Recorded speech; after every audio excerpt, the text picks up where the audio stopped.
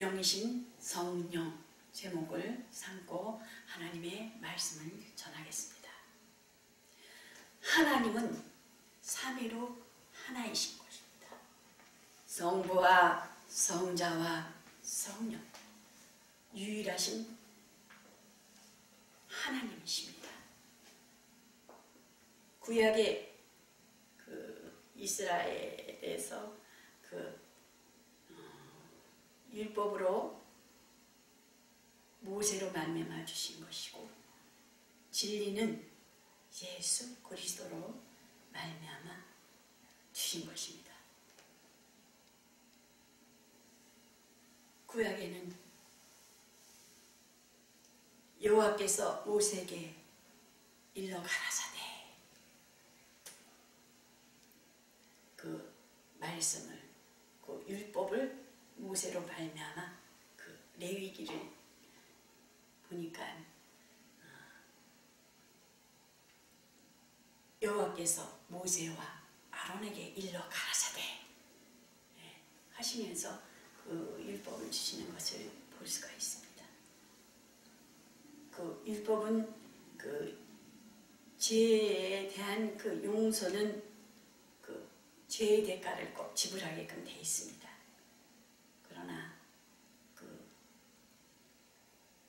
예수 그리스도로 말미암아 생명을 얻는 방법을 은혜를 얻든지 진리를 얻든지 방법을 우리에게 제시해 주셨습니다. 삼위일체의 하나님께서는 그 이스라엘 통해서 어, 말씀을 주셨습니다. 모세에게.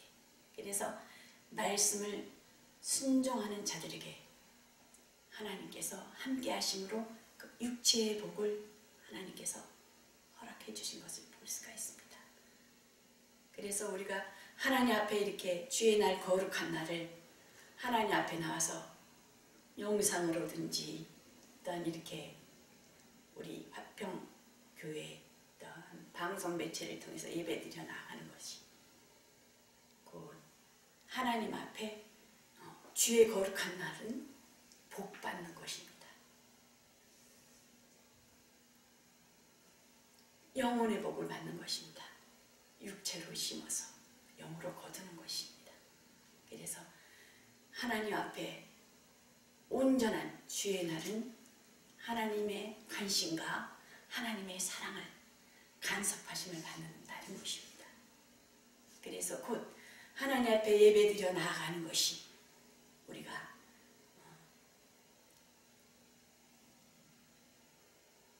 성령 안에서 성정을 삼고 온 예배드려 나가는 자들에게 내가 거룩하니 너희도 거룩하라는 것입니다.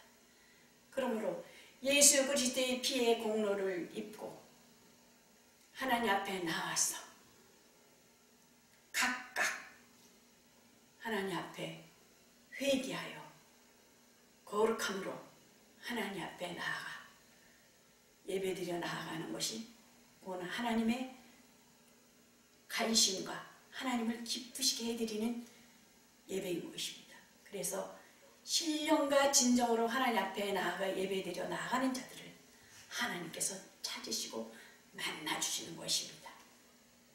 그래서 하나님은 유일하신 한 분 하나님께서는 하나님 보여요 안 보여요? 안 보이시죠? 그러나 하나님께서는 태초의 말씀으로 천지를 창조하신 그 말씀을 선포하고 계시는 것입니다. 하나님은 살아계신 분이십니다. 영원 불변하시며 무소부재하시며 전지전능하시며 그 살아계신 하나님 아버지 앞에 예배드려 나아가는 것이 곧 하나님을 만나는 그 하나님께서 우리에게 오늘 요한복음 14장 15절에서부터 보면 17절까지는 성령이 내주하신 것을 볼 수가 있고 또한 18절에서 21절은 예수 그리스도의 그 내주에 대해서 말씀하시는 것이고 21절부터 24절까지는 성부 하나님 아버지에 그 내주하심을 말씀하시는 것을 볼 수가 있습니다. 그럼 그 하나님은 말씀이신데 그 말씀으로 그 창조하시고 말씀으로 우리 인간들에게 오신 목적은 무엇입니까? 소통하기 위해서. 그래서 믿음을 심어주시기 위해서 곧 하나님께서 그 아들 예수 그리스도를 통해서 그 아버지 품속에서 그 독생하신 하나님을 나타나셨다는 것입니다. 곧 말씀이 육신이 되어 이 땅에 오셨다라는 것입니다. 자기를 낮추시고 사람과 같이 되어서 그러므로 그 아들에게 그, 그 아들이 오실 때는 곧 성령으로 잉태된 자라는 것입니다. 그래서 아버지를 그 아들을 통해서 직접 보여주셨다는 것입니다. 그래서 어, 요한일서 1장 1절인가요? 보았고 또 들었고 손으로 만진 바라는 것입니다. 그래서 그 아들에게 권세를 주셨다는 것입니다. 너희가 나를 사랑하면 나의 계명을 지키리라. 저는 진리 영이나 세상은 능히 보지도 못하고 받지도 못하나니 알지도 못하나니 너희는 저를 아나니 저는 너희와 함께 거하시며 또 너희 속에 계시겠습니다라는 것입니다. 그 아들에게 권세해 주신 목적은 아들을 믿는 자에게 어떻게 해야겠다는 거예요? 영생을 주시겠다는 그 약속이 계시다는 거예요. 영생은 곧 뭐예요? 유일하신 하나님과 그 아들을 믿는 것이라는 것이죠. 아는 것. 어. 그래서 하나님 살아계시기 때문에 그 살아계신 하나님을 우리가 알고 믿고 깨닫고 말씀이 명령이 되어 그 명령이 운동력이 있어서 그 삶의 변화와 실제 하나님의 역사하심이 하나님의 간섭하심이 삶 속에 있어 있다라는 것입니다. 그래서 그 권세를 하나님만이 가신, 가지시는 권세를 그 아들에게 주셔서 영생을 주시고 또한 순종치 아니하는 자들에게는 하나님의 진노하심과 또 그 진노하심을 이루며 하나님의 그 무관심 속에서 내어 버려둔다는 것입니다. 그러니 얼마나 어, 하나님은 지금을 은혜 받을 만한 때요. 하나님 앞에 사랑을 받을 만한 때라는 것입니다. 어떻습니까? 코로나로 인하여 많은 어려움을 당하고 있지 않습니까? 지금. 곧 그것은 곧 우리에게 은혜, 은혜 받을 만한 때라는 것입니다. 하나님을 만나 만한 때라는 것입니다. 그 많은 선진들이 있죠. 그 많은 선진들이 이 땅에 와서 어, 하나님의 일을 하고 그 모든 고난과 그 고통 속에서 어려움 속에서 그 믿음을 지켜나가기 위해서 그 하여튼 그 모든 것들이 우리나라의 그 지금까지 여기까지 오게 한 것은 그 선진들의 피 흘림이 있었기 때문에 지금까지 여기까지 우리나라를 이렇게 어, 훌륭하게 서게 된 것입니다. 그래서 그, 그 아들을 통해서 그그 믿는 자들에게 그 아들을 믿는 자를 통해서 그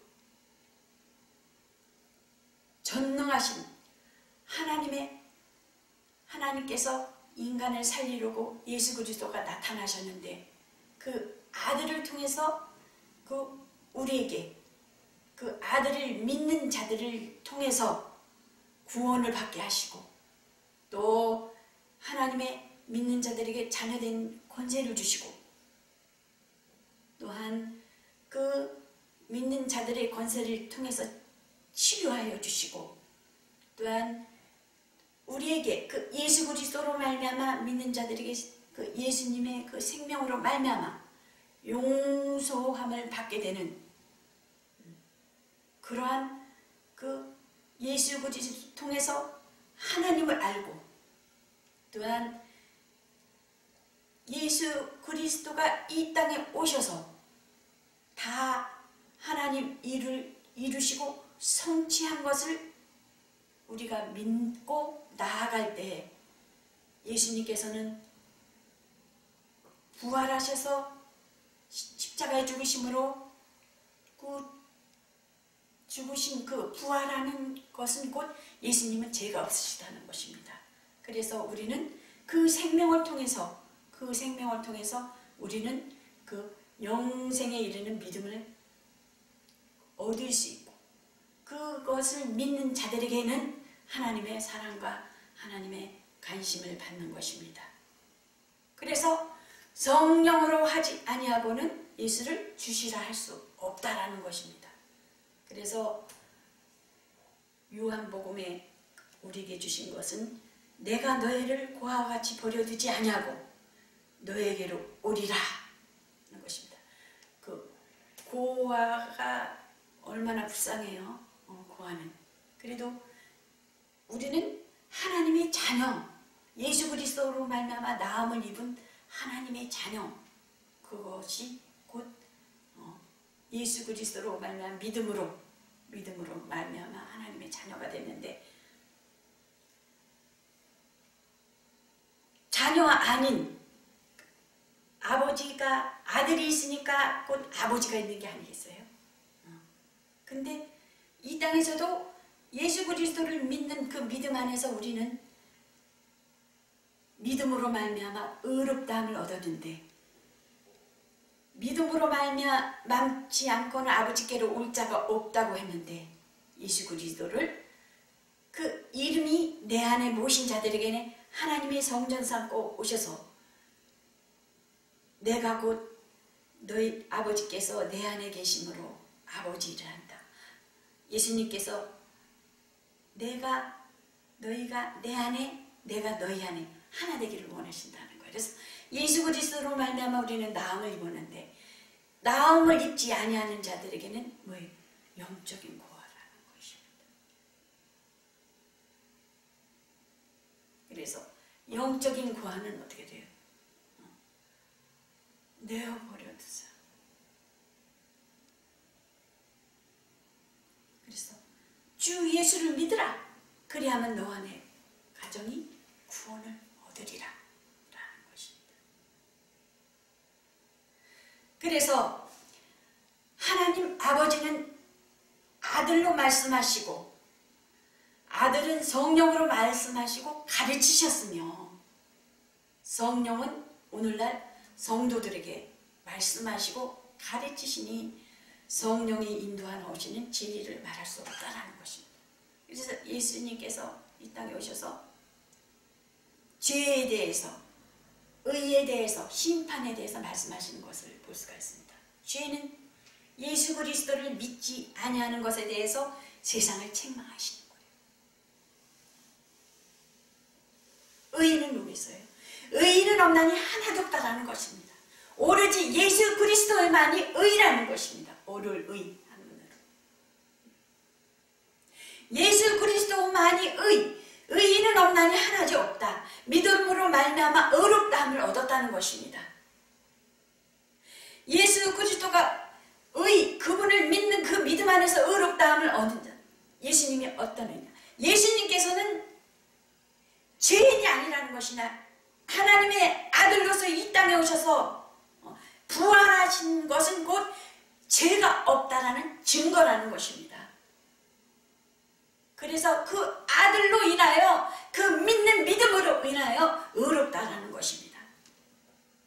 그래서 하나님은 계획하시고 예수님께서 이 땅에 오셔서 우리에게 영생을 주시, 주시라는 그 약속과 예수님께서는 그 구약의 모든 그 약속을 성취하시고 완성하시며 내가 저소를 예배하면 내가 너희를 데리러 오리라. 내가 너희를 고아와 같이 버려두지 아니하고 너에게로 오리라. 약속의 말씀이 계신 것입니다. 그날에는 내가 아버지 안에 너희가 내 안에 내가 너희 안에 있는 것은 너희가 알리라. 내 나의 계명을 가지고 지키는 자라 나를 사랑하는 자니 나를 사랑하는 자는 내 아버지께서 사랑을 받을 것이요 나도 그를 사랑하여 그에게 나를 나타나리라는 것입니다. 그래서 성령께서 성령께서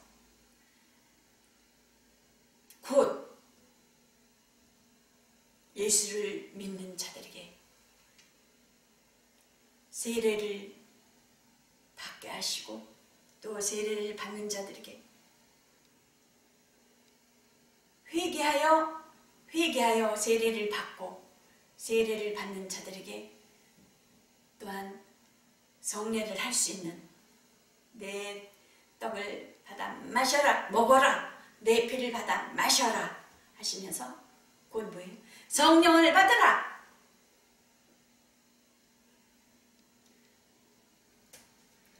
그러므로 예수 성령은 곧 예수 그리스도를 증거하고 예수님께서 그 다른 보혜사로 예수님은 하늘에 올라가셔서 그 믿는 자들이 연약하여 죄짓는 것에 대해서 기도하시고 그러므로 성령께서 이 땅에 오셔서 적용하게 하시는 것입니다. 지금 우리들에게 성전 삼고 오셔서 그래서 사도행전에 보면 그 성령이 임할 때 500, 500여 명이나 왔었으나 기다리고 성령을 기다리는 자들에겐 120명이 되는 자들이 남아서 성령을 받는 것을 볼 수가 있습니다. 예수님의 어머니도 계시고 성령을 받는 그 장소에 호련히 하늘로부터 강한 바람이 있고 또 불이 혀같이 갈라지는 그 현상을 속에서 성령이 임하여 성령의 충만한 것을 어, 볼 수가 있습니다. 그리하여 성령이 임한 순간에 이후에 나가 복음을 전할 때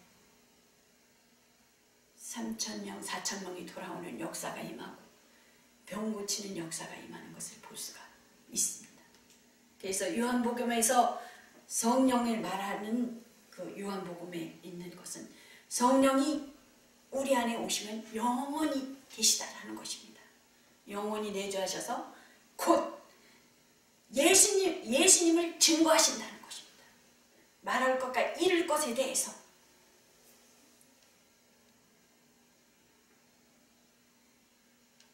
그러나 그, 그 세례 요한의 어머니가 그 세례를 저기 요한을 잉태했을 때 예, 요한이 잉태했을 때 그 예수님과 6개월 지나죠. 어, 그랬을 때그 어, 요한의 요한의 어머니가 그 세례 요한의 어머니가 막 누구한테 달려가요? 마리아한테 막 달려가는 것을 볼 수가 있어요. 마리아한테 달려갔을 때 그 복 중에 아기가 막 어, 어, 발길질을 하면서 막 요, 어, 기뻐서 백복 중에 그거는 성령의 충만함을 입어. 그래서 그 예수님에 대해서 그 복 중에 있는 그, 그 요한이 막 그 뱃속에서 기뻐할 때 그 어, 제사장인 그 아내가 그 요한을 잉태한 그 어머니죠. 그랬을 때 막 기뻐하는 것을 볼 수가 있어요. 성령의 충만함을 입어서 옷을 입듯이 감하고 감동하는 것을 볼 수가 있습니다. 그래서 성령은 오늘날 성도들에게 말씀하시고 가르치시니 성령의 인도시는 진리를 말할 수 없다고 하셨습니다. 그래서 내 이름으로 보내실 성령 가르치고 생각나고 깨닫고 또한 하나님의 그 역사하심을 살아계심을 통해서 오로지 나는 죽고 예수 그리스도만이 살게 하시는 내 주관이 아닌 하나님의 주관으로 살 수 있게끔 우리를 의지를 하나님의 방법으로 말씀으로 이끌어가는 것을 볼 수가 있습니다. 그래서 예수 그리스도는 보좌 안에 우편에 계셔서 그 사도행전 7장 55절에 보면 스데반이 순교할 때잖아요. 복음 막 예수 그리스도를 막 증거할 때 저들이 유대인들은 어때요?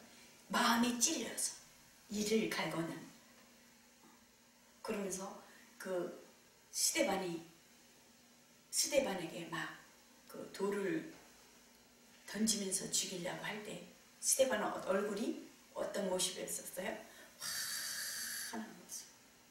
근데 하늘에서는 예수님이 딱 일어서셔가지고 그 스데반을 이렇게 스데반은 얼굴이 환해가지고 아, 내가 우편이신 어, 예수님 그러잖아요.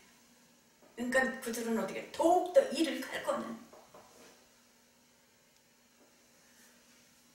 지금 우리가 예수 그리스도를 믿는 데 있어서 고난도 함께 받으라는 것입니다.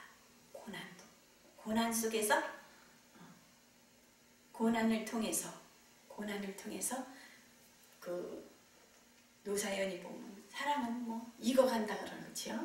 어, 고난을 통해서 하나님의 사랑으로 만들어지는 것입니다.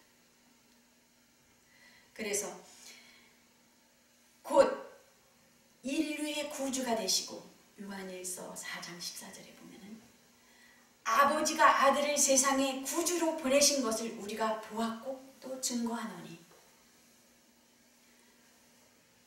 곧 성령을 통해서 요한은 어떻습니까? 요한은 예수님이 그 살아계셨을 때 눈으로 보고 손으로 만진 바 되고 귀로 들은 바 됐다라는 것입니다. 항상 예수님의 말씀은 예수님의 사랑을 받기를 위해서 기대고 어.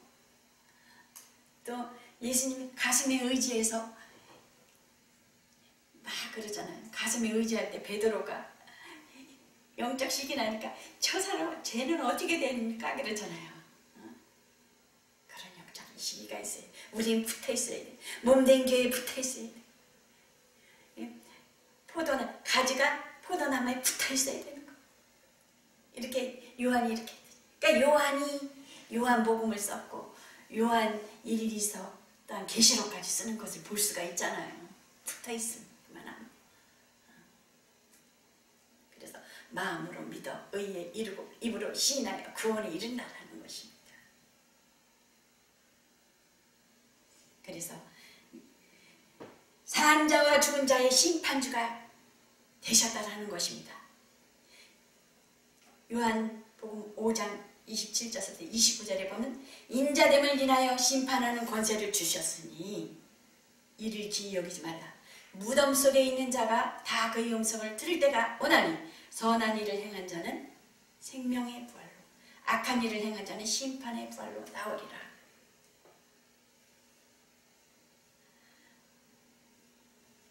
하나님이 보내신 성령은 믿는 자의 마음에 성전을 삼고 들어오시니 고린도전서 3장 16절부터 17절에 보면은 너희가 하나님의 성전인 것과 성령이 너희 안에 거- 거하시는 것을 알지 못하느냐 누구든지 하나님의 성전을 더럽히면 하나님이 그 사람을 멸하시리라. 하나님은 성전은 거룩하니 너희도 그러하니라 라는 것입니다.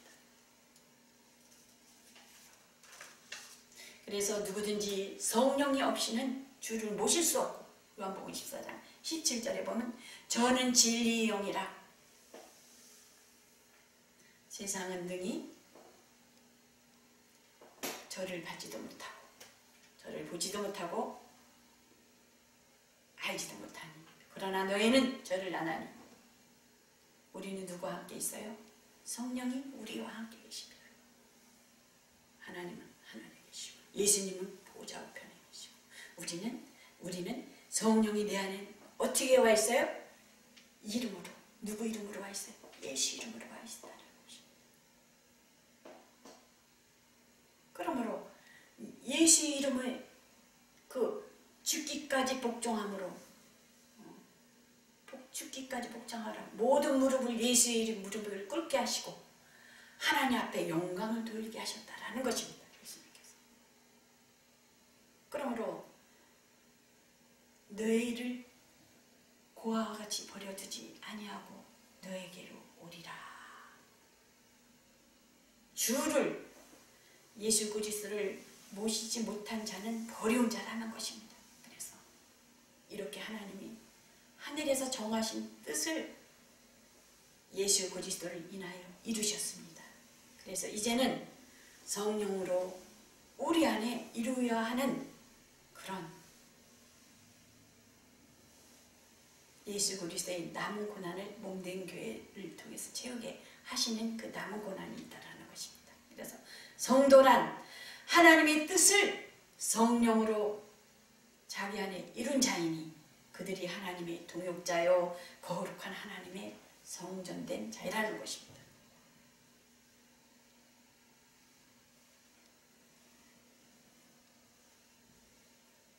그래서 그 베드로가 보면 어때? 가로되 너희가 회개하여 예수 이름으로 세례를 받고 제사함을 얻으라 그리하면 성령을 선물로 받으리라. 가로되 너희가 회개하여 각각 하나님 앞에 각각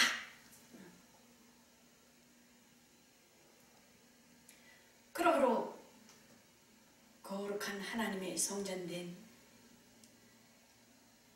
하평 방송과 하평 교회는 예수님의 은혜를 결코 잊- 잊지 않는 방송과 교회이니 진리와 함께 성령의 교통을 이루시는 방송과 교회가 되시기를 예수 그리스도 이름으로 축원합니다. 화평방송 구독, 좋아요 부탁드립니다. 감사합니다.